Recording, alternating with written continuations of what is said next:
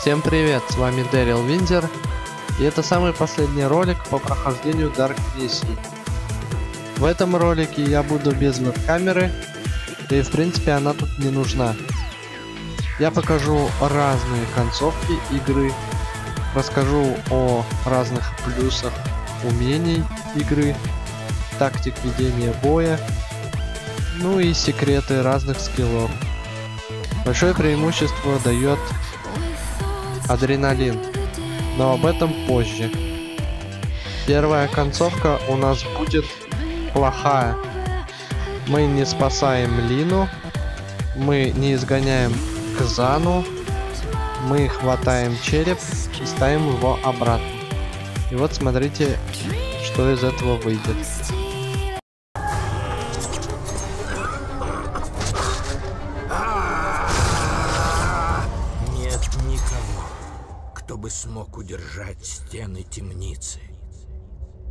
Ты победил меня и погубил... Умри с улыбкой на устах, Арантир. Судьба Эшена в отличных руках. Мое могущество больше, чем я смел надеяться. О, я предвижу реки крови и пламя пожарищ. Череп наш, любовь моя, а с ним и весь мир. Но позволь спросить, так ли уж нужен тебе отец, чтобы править Эшеном? Мы бы справились и без него, ты и я. Скорее. Мы прошли этот путь вместе. Вместе нам и завершить его. Последующие контексты совершенно не отличаются. будет крепость стоять. Стены, застывшие криком немым, И рогатые лорды склонятся пред тем, Кто еще не рожден от хозяина тьмы.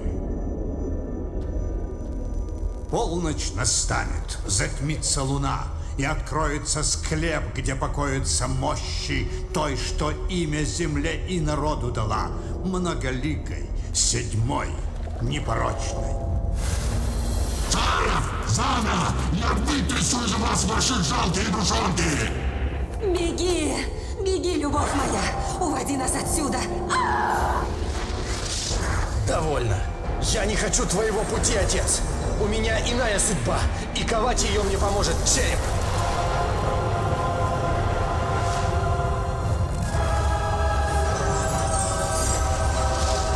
Ты предал свой род!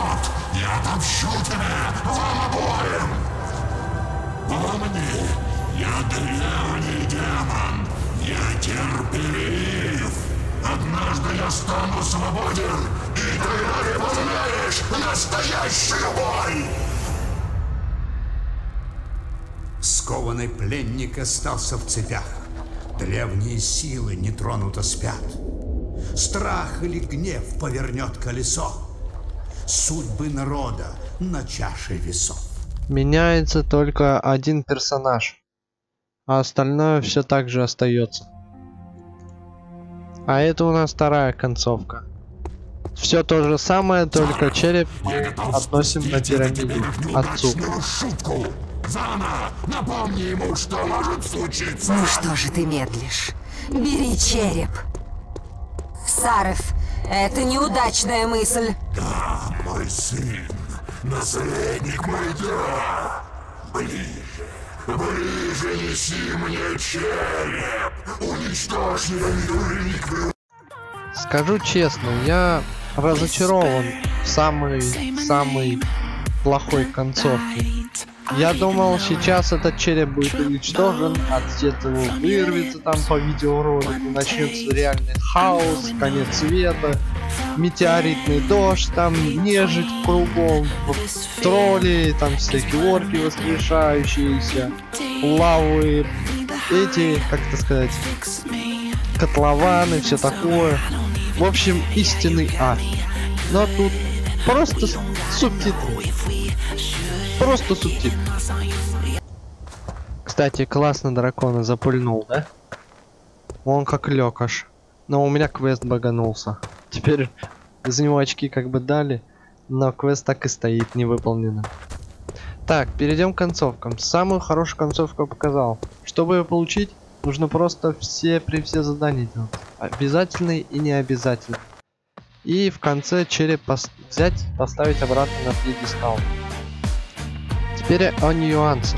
Если спасти Лину и не избавиться от Ксаны, то при входе в Некрополь Лина, или как ее правильно, будет, станет агрессивной и захочет вас то есть ее придется в любом случае уничтожить.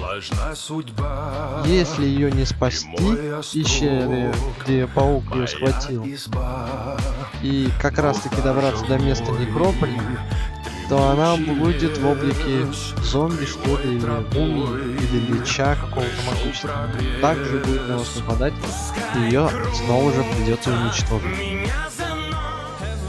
Что ж, а теперь перейдем к плюсам способностей, умений персонажа.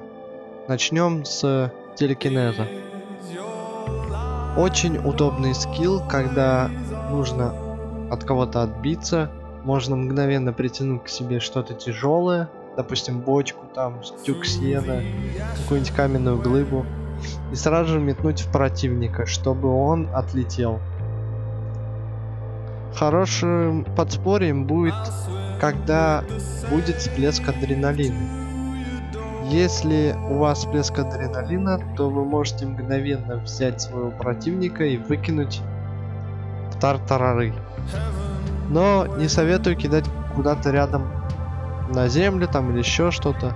Кидайте на шипы или в высоту там на 20 метров этажей и все такое. Можно незаметно открывать двери. На закрытой двери это не действует, но зато с расстояния спокойно любую дверь открываешь. Можно открывать дверки шкафчиков, но почему-то это не всегда работает, что очень-очень обидно. Как я и сказал, поднимать можно не только тяжелый предмет, но и легкий.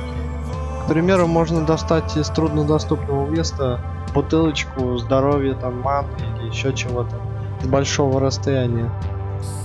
Я испытывал заклинание заморозка. Взял в руки кинжала молнии, набивал себе адреналин и навсегда замораживал упырей. Веселое, однако, занятие. Вы только посмотрите, как классно получилось. И весь факт в том, что они уже, можно считать, покойники. Если нанести один удар этой замороженной статуи, она раскалывается полностью. Но звук рычания самого упыря проносится один раз. Жаль, что у этой способности очень длительный откат. Было бы очень имбово. Жаль, драконов и циклопов заморозить нельзя. А вот довольно-таки интересное заклинание. Называется убежище. Дает на некоторое время барьер защиты. Не знаю на сколько секунд, но довольно-таки неплохо. И защищает полностью от любого урона. Вот пример. Я стрелял в паукая по два раза.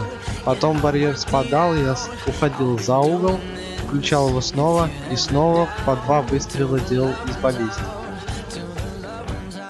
Вот еще одно доказательство того, что заклинание действительно защищает от любого урона.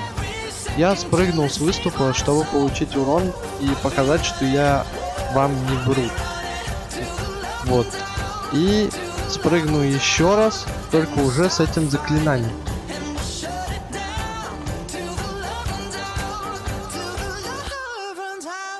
И как вы видите, я не получил вообще урона никакого. Я поднял планку и спрыгнул с более высокого места. И ничего не произошло. Меня заинтриговало заклинание ослабления. Как видите, оно уменьшает при выбросе адреналина противников. И они становятся такими маленькими, такими быстренькими, что их можно спокойно раздавить. Я просто ходил и троллил всех мобов. Я уменьшал некромантов, личей, зомбарей. Пробовал рыцарей вампиров, но похоже, что они посмертно уменьшаются. На троллей и драконов также не действует заклинание, что, как обычно, обидно. На пауках не проверял, но мне кажется, они станут вообще мизерными. Хотя и были такими маленькими. Для лучников советую вкачивать стрельбу полностью. Насчет критического удара я даже не знаю. Там максимум можно вкачать 4% и плюс кольца еще 2. Но вроде были какие-то кинжалы или лук, которые еще на 2 или на 4% повышают двойной урон. Но урон от самого лука или кинжала был маленький, так что смысл от двойного урона существенно падает.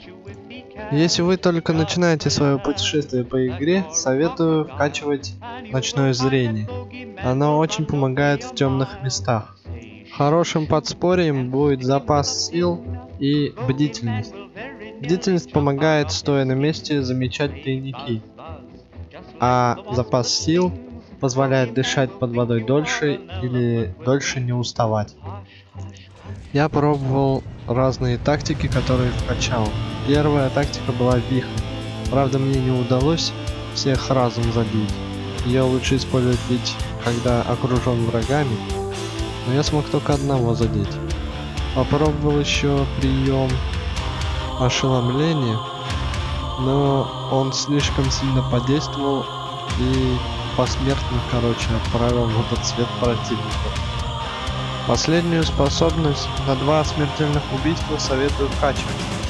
Она очень полезная и поможет в борьбе, допустим, с боссом. Также к шестому и седьмому акту, я не помню какому именно там, советую вкачать взлом сундуков. Потому что будет очень много сундуков, которые не откроешь без отличия. Теоретическая информация по работе умения сопротивления яду. Без него каждые 2 секунды минус 3 хп идет, а с ним минус 1 хп и вроде бы каждые 6 секунд. Это все, что я хотел вам показать и рассказать. Выбирайте свой класс сами, кому что понравилось. Я желаю вам успехов в прохождении этой игры. Надеюсь, она вам тоже понравится. С вами был Дэрил Виндер. Всем пока.